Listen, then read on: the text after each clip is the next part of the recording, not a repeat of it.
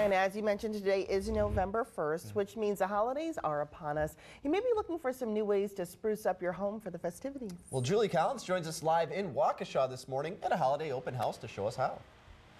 Good morning, you guys. So you've heard of the poinsettia plant, right? Huh? Yes, we have.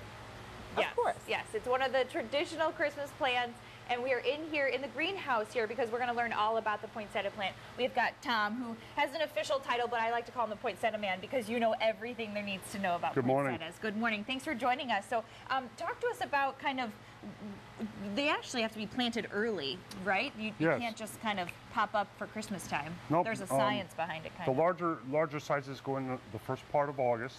Wow. Um, and as you go through the different sizes uh, down to those smaller ones, they go in the first part of September. Wow. Okay. And then that's when you- you plant them, and then they grow into these beautiful, beautiful flowers. Uh, it's a little more than that, but yeah, you, you Sure. plant them and uh, you have to fertilize them and uh, you know care for them. You have to pinch them to make the flower uh, flowers actually come out on the stems. wow. Um, What what could you tell somebody at home that's that that maybe bought one and wants it to be just beautiful for Christmas time in a Um, couple in two months here? The, uh, the number one thing that we find uh, as far as a problem with poinsettias would be uh, people overwatering them. Um, you want to stick your poinsettia towards a bright window.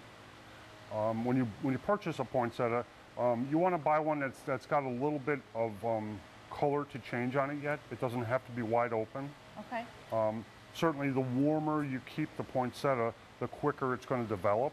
So if you have a little cooler spot, uh, anywhere from 65 to 68 would be perfect. Okay. All right. And but you've got a couple here you want to point out to us, right? There's some pretty. Yeah. What about this? That multicolor or. Yeah, what about this? This is kind of a burgundy. That's This is pretty. this is actually one of the, the newer varieties that's been out for about five years. This is a, this is called Cortez Burgundy. okay. Um, one of the later varieties to change color, um, but you give it about another three weeks, this will just be a massive burgundy, beautiful deep color. Wow. Nice. Um, we do some different combinations. This is just a classic red and white combo. Mm -hmm. Beautiful. And then they get even bigger as you go down. Don't they- you've got some really They're big going to get bigger. Um, this is a, a four-stem red that we grow. Oh my gosh. Um, and how long does something like that take to grow? um, this went in the first week of August. wow. So, um, like I say, it's it's pretty and good. it's it's ready for for a beautiful Christmas pretty good, tablescape. or- pretty good sized plant. Awesome. That's Um, beautiful. Well, so many beautiful. What's this one? This is marble. Marble. You can see where the centers are just setting up on it. Awesome. So- Beautiful. Well, you can find all of these poinsettias here at Waukesha Floral and Greenhouse. Tom is working very hard to make sure that they're all ready for Christmas time. So, um, and if you want to learn more about them, come on down to the Oh What Fun event. It all it actually started at 8 a.m. There's people already outside enjoying it. So come on down and join us. Back to you in the studio. All right, thanks a lot.